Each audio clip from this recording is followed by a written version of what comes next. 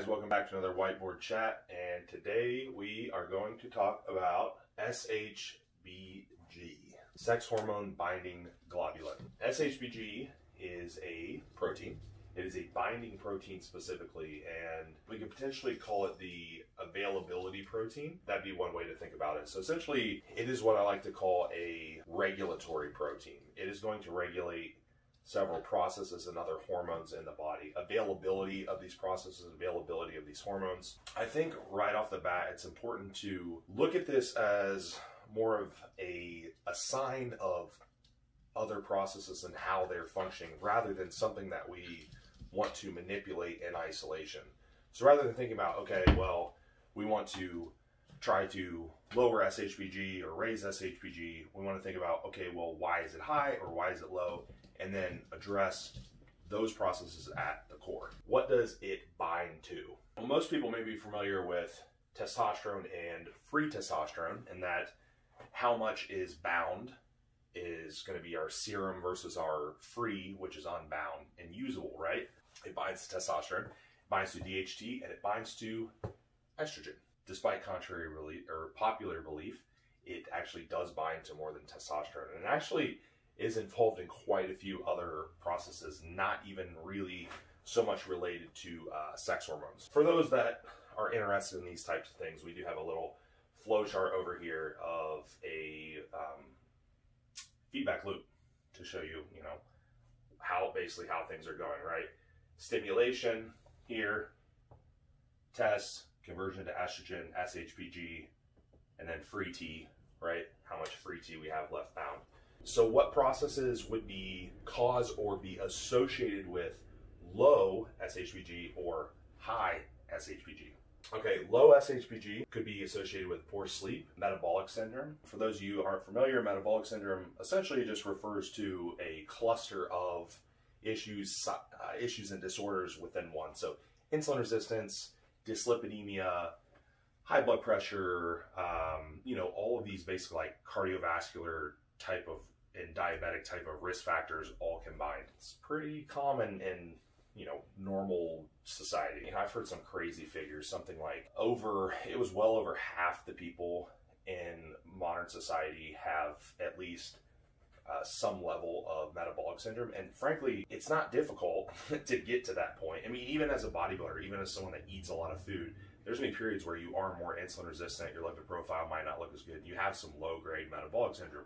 Now on our end, we do things like mini diets and contest prep and like all that stuff, and we you know we reverse it, and we never really get to a point that's bad. But my point is that you definitely can get there. If you never reverse it, then you're in big trouble. Hypothyroid. Hypothyroid, pretty common, right?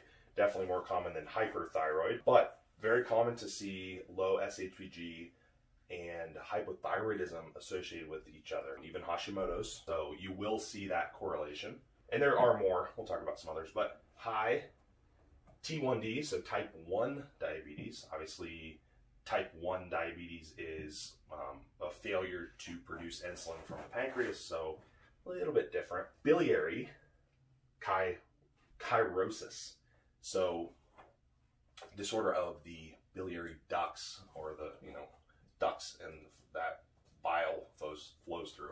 Hypogonadism, that is not a great uh, combination with hypogonadism when you have low, like especially if you have low testosterone and high SHBG. Not a good scenario when you have you know low testosterone and low free testosterone. Not great. High aromatase activity.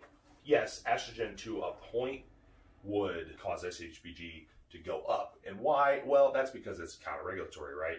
So yes, that's not to say estrogen is bad, but that's to say that there has to be balance there and that eventually SHBG may go up in response.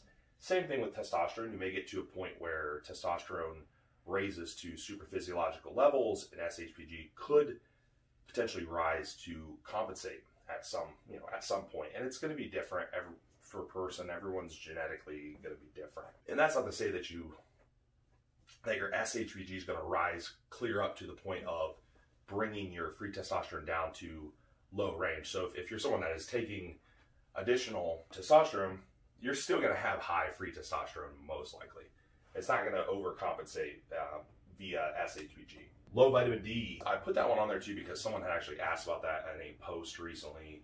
Um, low vitamin D, and what I've found with the vitamin D is it has to be pretty chronic vitamin D deficiency. And I see a lot of low grade vitamin D deficiency, but I really don't see a direct correlation between low vitamin D and higher SHBG. I have seen it a couple times when I see like a, you know, a vitamin D25 hydroxy serum level of like single digits. Yeah, well, we'll probably see a correlation, but generally it's not that low. Generally, even newer clients and stuff are still taking like a little bit of vitamin D.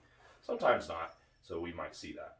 Stress, what do you know, right? there is uh, is potentially a relationship with cortisol and stress response and binding of sex hormones. Not good. Stress ruins everything.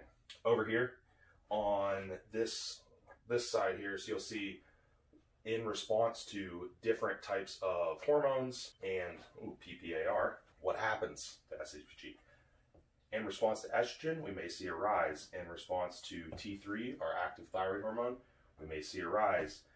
In response to a PPAR, well, uh, PPARs would be, well, the most common one would probably be like the GW 50, 15, 16, I believe I say it. Uh, even telmisartan is, has PPAR properties to it, so you could see some response in SHBG. I'd like to check that out. I know quite a few people that use telmisartan, so I'm to have to pay attention to that and see how see how much of a correlation there. Because here's a, here's the thing. Before I you know before I go on to the last two, uh, yes, we may see some compensation, but there's always another compensatory process that's going to also just help to balance it back out. It's kind of hard to say. Inflammation, dropping it down. This will make more, that part will make more sense to you in a minute. And adiponectin. This molecule essentially helps with lipid and glucose metabolism. That's kind of a bonus. I just threw that on there. That's something you can test, actually. You can test that on blood work and it looks at lipid and glucose metabolism. Something that you could maybe that I would add to somebody that's like high risk cardiovascular. So we're adding it to like a lipid particle size profile along with, you know, our typical lipid profile.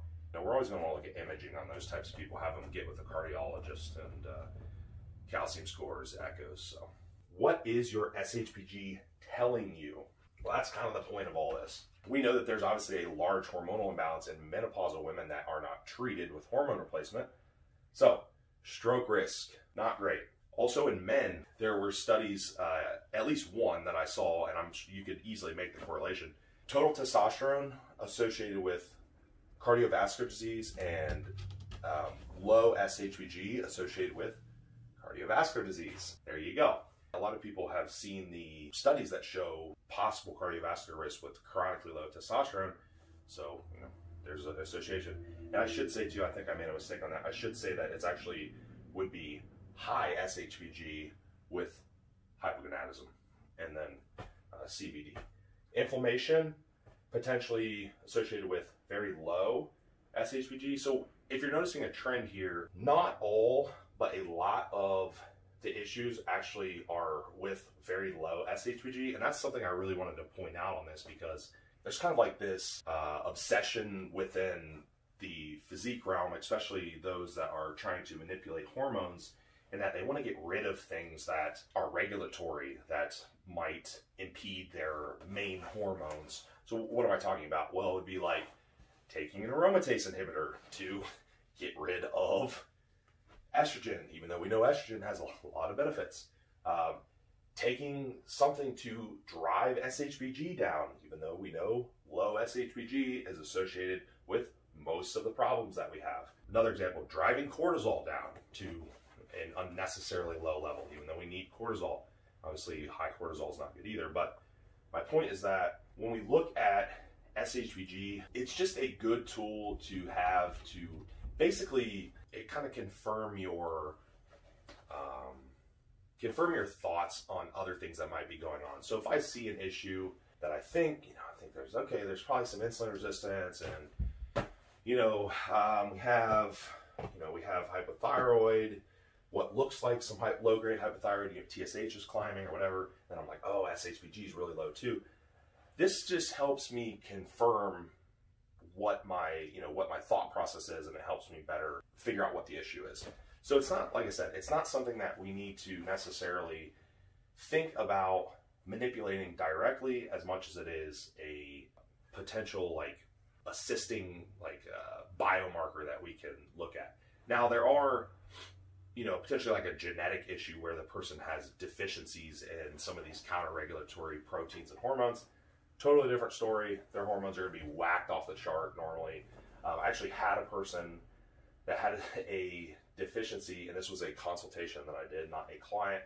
Pretty interesting one, nonetheless. Had a severe SHBG deficiency. They had some weird stuff, like in terms of hormones. They were on meds and things, but uh, of course, as you can imagine, it's basically taking out this regulatory hormone and all this other stuff's like flying all over the chart. So, so that's SHBG in a nutshell.